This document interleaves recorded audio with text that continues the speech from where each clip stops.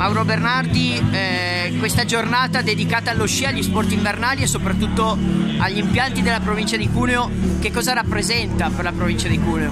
Beh, è un momento di ripartenza, un momento in cui volevamo comunicare l'urlo della montagna cuneese che è pronta e pronta ad accogliere tutti quelli che quest'anno vorranno veramente andare a sciare sulle nostre montagne, la neve è arrivata, il freddo è arrivato siamo pronti, siamo pronti per ripartire in quella che veramente vogliamo che sia la stagione invernale della ripartenza.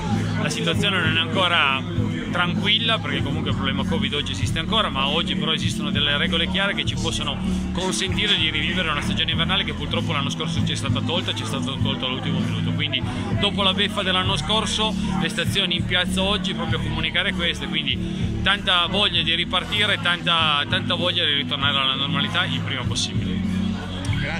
Gracias.